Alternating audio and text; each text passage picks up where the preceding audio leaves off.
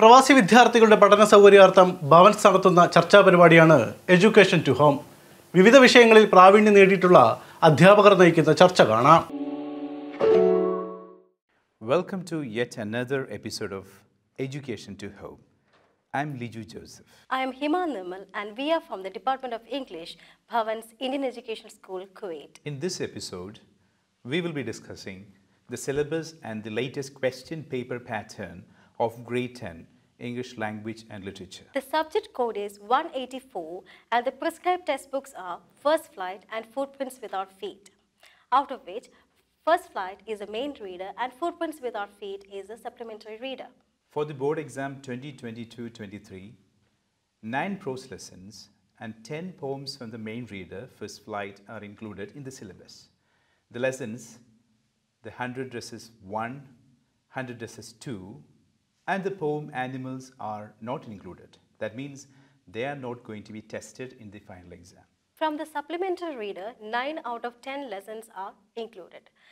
The lesson, Hack Driver, is omitted from the portion. The total mark for the paper is 100. The written exam is out of 80 and the internal assessment is out of 20. The duration of the exam is 3 hours. Mr. Liju, let us talk about the new exam question paper pattern for the upcoming board exam. Yes, the students can also refer to the sample papers and uh, sample paper and marking scheme published by the CBSE on their official website.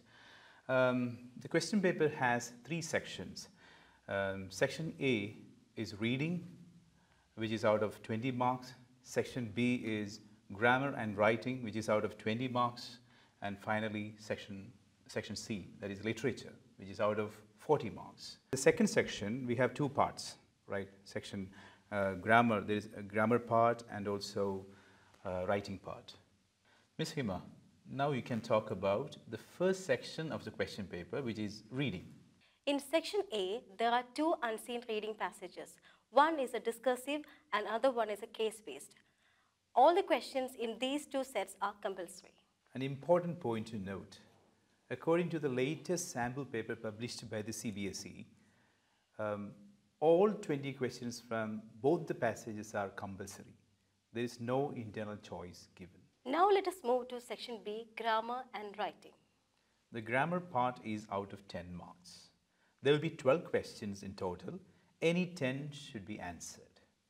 All these grammar questions will be integrated to the topics such as tenses, subject verb agreement, um, determiners, etc. And all the questions in this section are either MCQs or objective type questions. There are two questions in the writing part. The first one is to write a formal letter based on a given situation, and the second one is to write an analytical paragraph. The letter writing carries 5 marks. For the format, 1 mark is given. For content, 2 marks. Organization of ideas, 1 mark. Accuracy, 1 mark. For the analytical paragraph 2, 5 marks are given. 2 marks for the, the content, 2 marks for organization, and 1 mark for accuracy. For practicing these two tasks, you have to refer to the sample answers included in the CBSE marking scheme. The third and the final session is for testing literature. In this session, we have extract-based questions or reference to contest and very short question questions and long answer questions. Literature section starts with extract-based questions. Um, the first set of extract-based questions um, are based on um, the main reader, first flight. There will be two sets of extracts. The first extract uh, will have five questions. The second extract will have another five questions. Each question carries one mark. Out of these two, any one has to be attempted. The second set of extract-based question is based on poetry. One out of two has to be done. There will be multiple choice questions as well as objective type questions. Now, One more uh, point to note.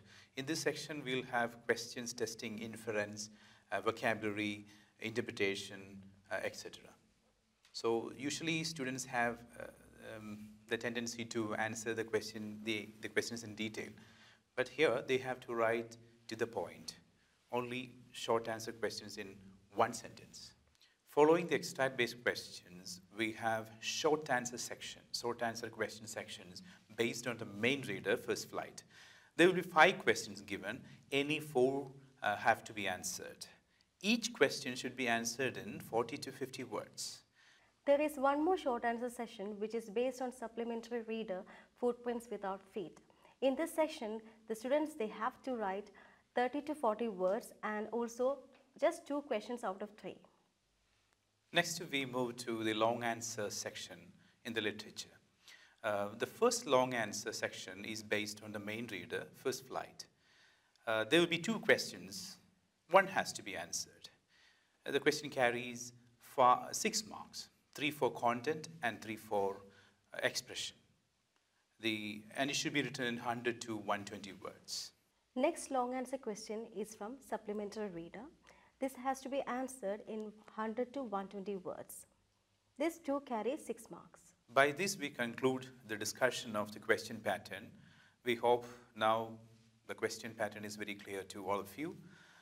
Before we wind up, we would like to give you some tips for writing the exam. First and foremost, read the instruction carefully. Then, stick to the word limit given in the question paper. For every question, there will be word limit given 40 to 50 words, 100 to 120 words. Follow the format taught by a teacher. It is always advisable to underline the key words uh, or phrases in every answer. Write neatly and legibly. Finally, read, read, read the literature lessons. So, reading is very much important. Read and find out the details and try to remember all the facts in the factual lessons too. Time bound practice is very much needed for reading and writing sections.